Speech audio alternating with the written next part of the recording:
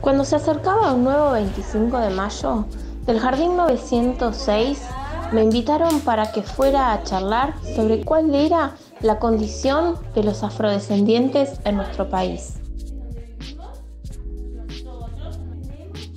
Los chicos de la Steffi sabían un montón al respecto y además compartieron lo que habían aprendido en música junto a sus tambores.